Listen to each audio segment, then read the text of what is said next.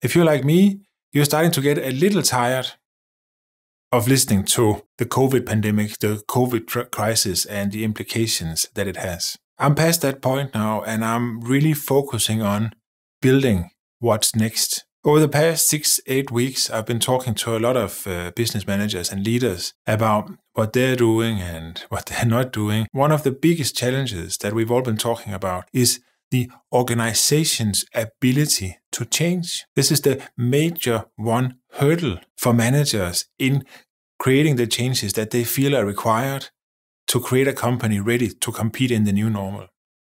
Well, actually, it's not the only major hurdle. There is one other major hurdle that I found. Managers, they are aware, leaders are aware that they have to do something. The problem is that they don't know what to do.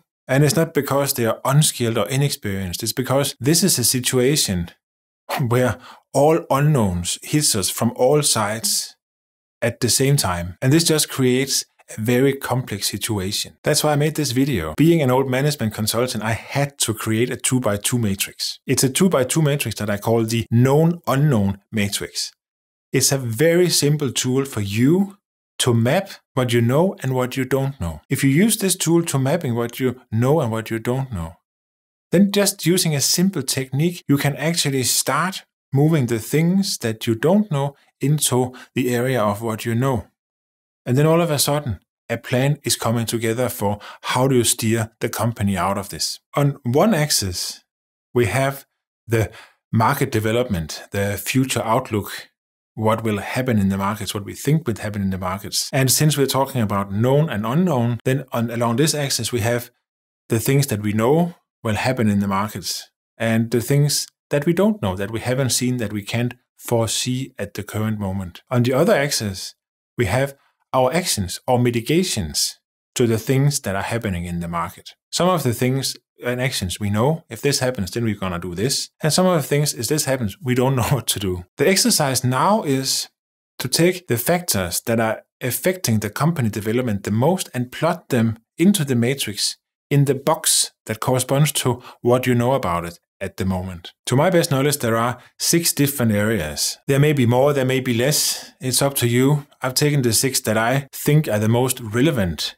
factors for insurers. Of course, you have the customers. You have the customers' needs and demands. You have changes in how they would like to be serviced, how they want their products to be configured. That leads directly to the competition. How does the competitive landscape look right now? How do we expect that to develop? Do we foresee new entrants coming to the market from the outside or within our own industry? How do we foresee the price competition? Moving on to our partners. What opportunities can we have with them? How do we see our partners develop? Are they thinking about uh, horizontal or vertical integration?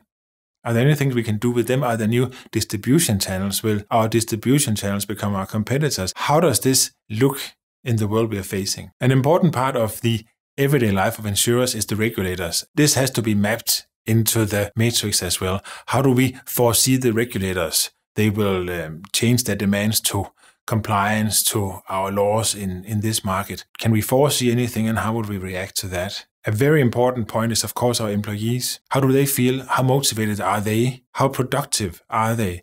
How ready are they for the changes that will come inevitably? And the last, but at least, our shareholders. Do we expect our shareholders to change our targets? Can we expect them to want to be a closer part of the daily operations? These are the six factors that I believe will influence the, the company the most going forward. So what you can do is you can you can granulate them to the to the level that you feel like, but take the factors and put them into this matrix in the box where you feel they suit what you know and what you don't know. Now you're starting to create a plan. Now you're starting to map the things that you know. And if you know enough, then hey, this is the first step of your plan. Where you don't know enough, your task is now to find a way of getting that knowledge, of creating that knowledge. Where do I find it? How do I have to do?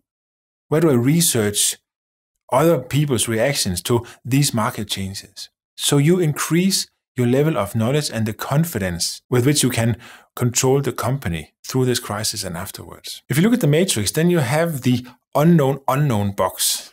This is, of course, the most difficult one. And I believe one of the only ways of getting out of that box is creating scenarios. Typically, you build a scenario in a 3x3 matrix. Along one dimension, you could plot the expected length of this crisis or pandemic, could be short, medium, long term. On the other axis, you could plot the market reactions. It could be little reaction, medium, and severe reaction. Within these nice boxes that you have now in your scenario, you will write down if the pandemic length is medium and the market reaction is medium, to take an example, how will that affect your company? And if your company is affected in this way, what actions can you take? And now you're actually starting to build from the unknown market development into a scenario about the market development and you take it a step up into the known actions as well. Because if this happens in the market, you will take this action. Same goes for if you have a pretty clear idea of the market development. So that box is known. You still have to move it up to the known actions. And here you can do research. You can talk to your industry peers. You can talk to the near field peers saying, okay, have you experienced, and if this happens in the market, what is best practice to do? You can research scholarly articles. You can go to the internet to search, but build up your knowledge about what has other done in these situations. All of a sudden, your plan or your strategy for how to move the company safely through this is taking form you are creating the plan while we are talking. I strongly suggest that you try doing this exercise. This is based on my experience in mapping unknown situations and getting them to a known place so you can action it. It shouldn't take you long, and I'll guarantee you that you'll have a better feeling of what to do when you're done with this matrix. And once you have the matrix done, the hard part is coming. You have to be the leader leading the team through this. And remember, through a crisis, you shouldn't create a sense of urgency. It's already there. So, as a leader in a crisis situation, you have to be calm, you have to be focused, you have to be connected, and you have to show resolve. Employees are like us, like everybody else. We need comfort, we need safety. And when you are in an unsafe environment, when unknowns all over the place, you will look to the people that you trust, that you look up to. And if you as a leader is showing resolve and firmness. You will instill the same in them and they will be ready to follow you and the company and building the future together with you. If you do what you shouldn't do, if you bury yourself in the work that you feel that you have to do and doesn't appear publicly in the company, then you will just create more fear and more uncertainty. So whenever some plan is coming, people won't be willing or able to follow you as fast and as dedicated as if you had been up in the front and saying, this is a bad situation. Trust me, I got this. This is what we have to do. This gives people a sense of secureness, which they need to have in order to work with you to create the new company. As always, I'm standing here talking, making it sound fairly easy. I know it's not. I know it's hard work.